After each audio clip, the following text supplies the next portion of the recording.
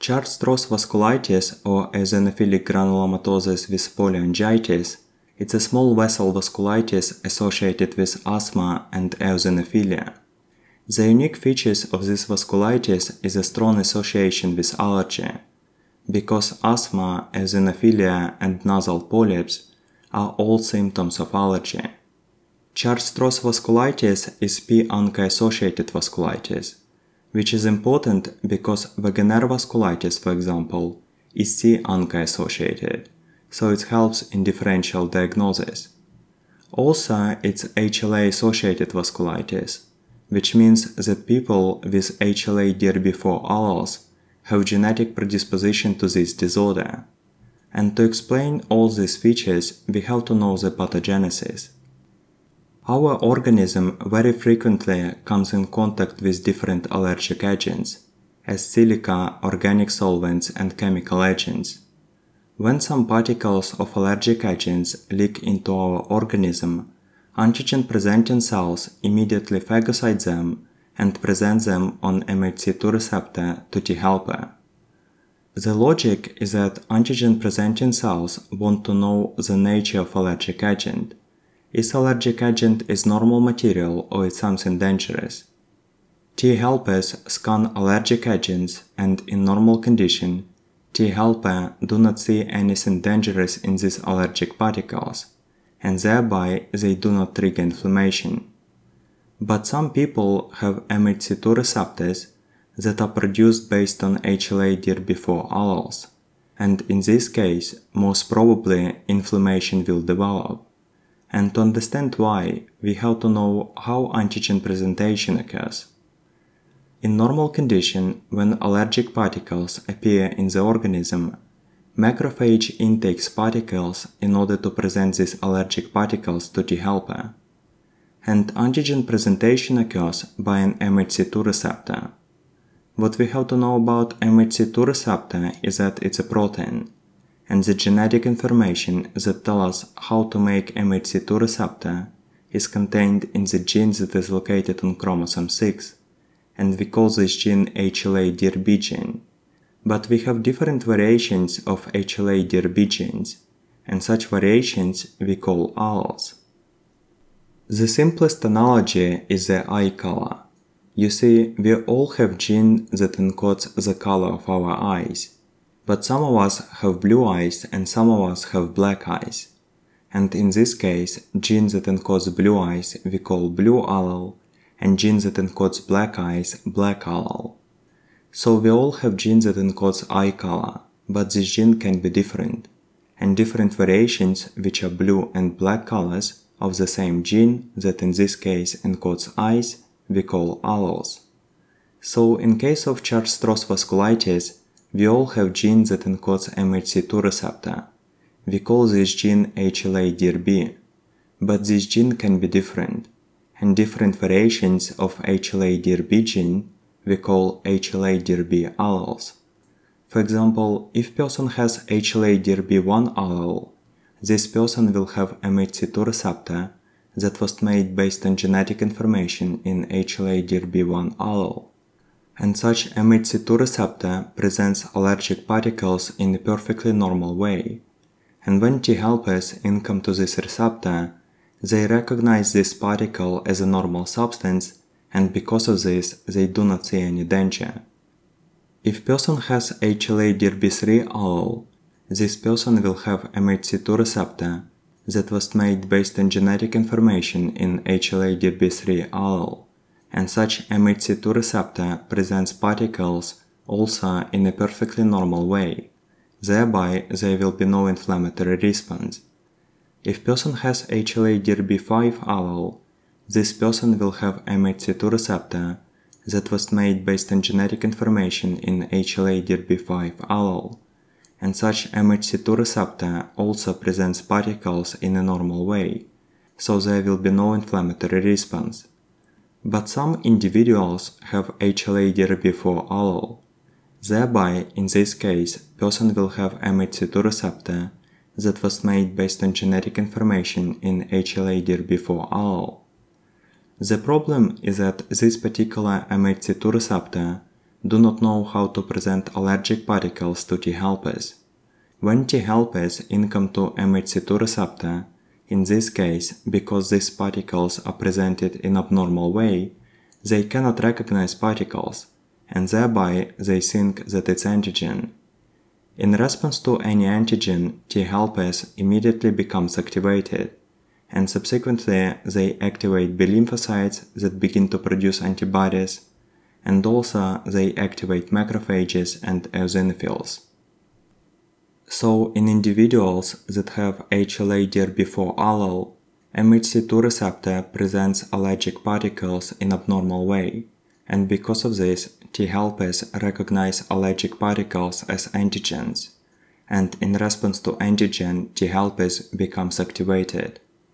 Once T helper becomes activated, T helper by production of interleukin-4 and interleukin-13 activate B lymphocytes. If B lymphocytes becomes activated, they begin to produce antibodies. First of all, they begin to produce immunoglobulin E and immunoglobulin G4 antibodies. These antibodies provoke degranulation of mast cells that results in massive release of allergic substances as histamine and proteases. And exactly histamine creates a state that we call allergy. Also B lymphocytes produce P-ANCA antibodies. These antibodies bind to neutrophils.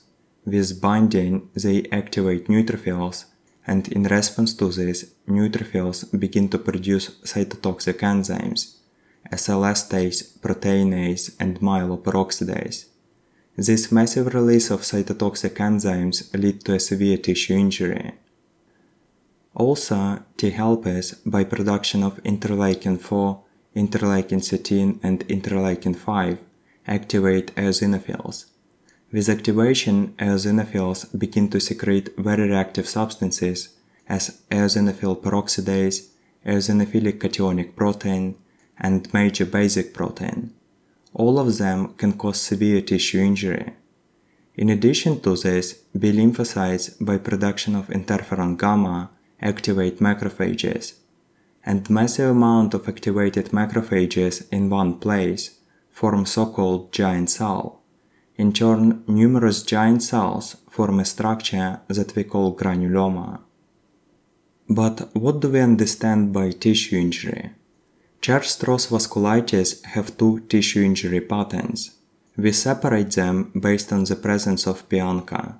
If P-ANCA is present, most commonly injury occurs to the skin, and skin injury manifests as purpura.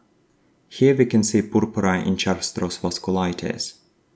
The second tissue that typically becomes affected is kidney tissue, where autoimmune reaction causes inflammation of the glomerulus.